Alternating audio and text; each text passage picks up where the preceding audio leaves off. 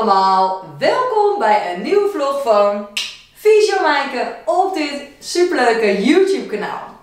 Hey, welkom, onwijs leuk dat je weer kijkt. Abonnees welkom, er zijn een hoop nieuwe bij, ook van harte welkom, hartstikke leuk dat je weer kijkt. En eh, ja, ben je nog niet geabonneerd en wil je wel weten wanneer ik een nieuwe vlog post? Druk even op abonneren en natuurlijk het belletje zet die aan. Dan krijg je een pop-up wanneer ik weer een nieuwe vlog post of een wisjedatje. Hey, vandaag gaan we het hebben over wat doe ik tegen het feit dat ik niet soepel uit mijn bed kom en helemaal stijf ben. Ochtends vroeg hoor ik zo ontzettend vaak in mijn praktijk hier in het mooie Zoetermeer dat zoveel mensen wakker worden en stijfheid, niet lekker. Wat moet je dan doen? Nou, daarover gaat deze vlog dus. Let op. Ik ga even staan. Want wat eigenlijk de bedoeling is, hè, is dat je dus ochtends in je bed een aantal dingen kunt gaan doen. Nou, ik doe net alsof ik even uit mijn bed kom, ochtends vroeg. En dan is dit mijn bed. Nou, als je ochtends wakker wordt en je denkt, oh ik ben zo stijf, dan begin je in je bed al met oefeningen. Ja, je kan een beetje kantelen, naar voren en naar achteren. Dus je benen zijn gebogen. Voren en achteren. Heerlijk voor die bekkenrand. Al die peesjes die worden dan even bewogen. En dat gaat de stijfheid natuurlijk tegen. Je strekt je benen uit. En je kunt ook het been om en om langer maken. je maakt jezelf lang. Je pakt met je hand je andere pols. En dan trek je even, rek je even zo die zijkant uit. De ene kant en natuurlijk de andere kant. Heel erg goed tegen stijfheid.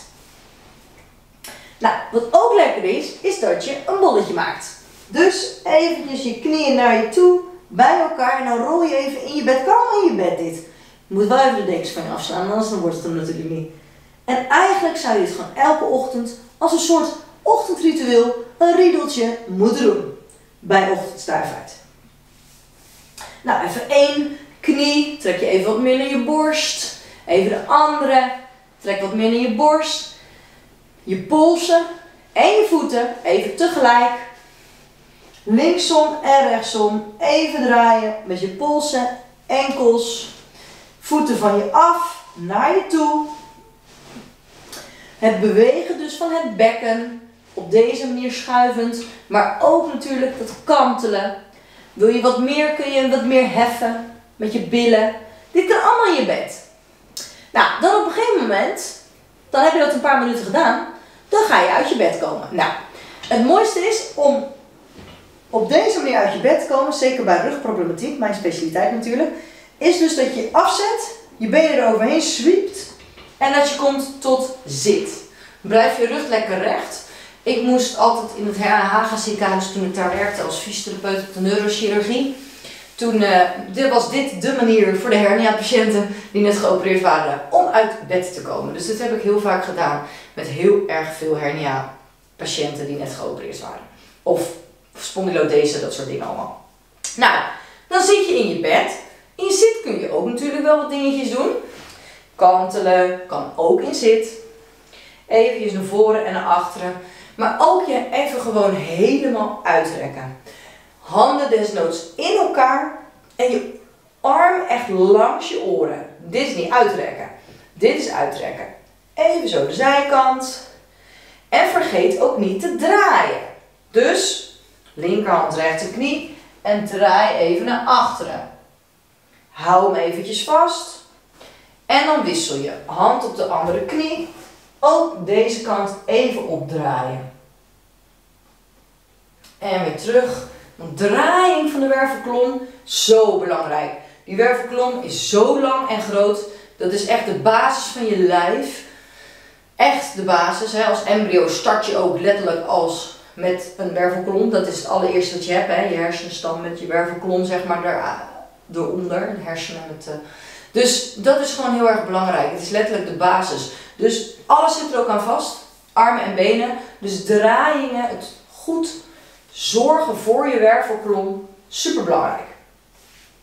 Nou, dan denk je op een gegeven moment, nou, Kan wel opstaan. Ik weet niet of je bij de vloer kan als je uit je bed stapt. Eh, ik niet. Wij hebben zo'n hoge bokspring. Maar als je dat wel kan, dan til je gewoon een beetje je benen op. Kan je even draaien zo. Met je voeten en met je polsen. En dan is het tijd om te gaan staan. Ook dan kun je natuurlijk genoeg dingen doen. Eventjes links en rechts zo stretchen. Je kunt natuurlijk ook hier in deze positie kun je draaien. Even draaien. Andere kant. Even draaien. En rol ook even af. Dus je staat rechtop. Even voorover buigen. En rol even helemaal af. Als het goed is ga ik een beetje uit beeld denk ik. Ja, bijna. rol helemaal af. Ook hier even kantelen van dat bekken. Voor en achter. Op de tenen staan om en om. Zodat je het bekken op deze manier kantelt. En you're ready to go. Dus, wat doe ik tegen het niet soepel uh, en heel stijf uit mijn bed komen? Oefeningetjes in bed, op de bedrand en in stand. Daarna lekker ontbijten, goed ontbijten, hartstikke belangrijk. Misschien een warme douche, ook dit soort dingen, die staan, dan kun je allemaal onder de douche doen. Er zijn natuurlijk nog veel meer oefeningen, hè? want je kan ook nog draaien met je schouders naar achter naar voren. Je kan van alles doen, je kan het zo uitgebreid maken als dat jij wil. Maar vergeet in ieder geval alle gewrichten niet. En vooral ook de draaiing van de wervelkolom niet. Heel erg belangrijk. En eventjes je helemaal uitrekken. Die zijn gewoon heel erg belangrijk. Dus dat zou ik lekker doen. En dan kom je soepel uit je bed. Nou, wat wil je nog meer? Integreer het in je leven als je ochtends opstaat. Het duurt twee minuten, misschien wel drie minuten. Nou, het kost geen tijd dus. Dus doen. Hey, dit was de vlog voor deze week. Ik hoop dat je hem leuk vond. Doe een duim omhoog hier beneden als dat zo is. Of laat een reactie achter. En dan hoop ik je de volgende keer weer te zien bij een nieuwe vlog. Tot de volgende!